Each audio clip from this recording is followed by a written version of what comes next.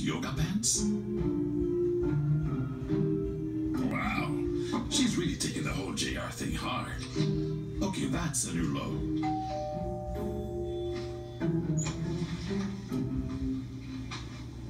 What are you doing here? I was impressed back at the restaurant. Now that is what I call a romantic gesture.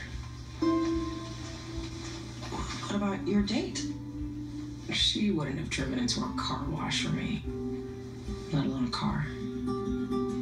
So listen, vulnerable Petra is way hotter than Ice Queen Petra.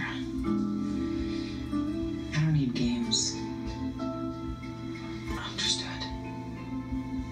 I really, really like you a lot.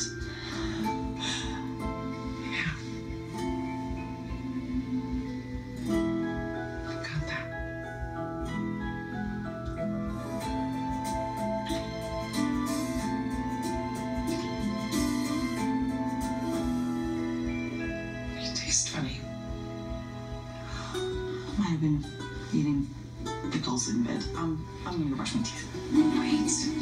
Okay then. These two make quite a pair, don't they? Speaking of which...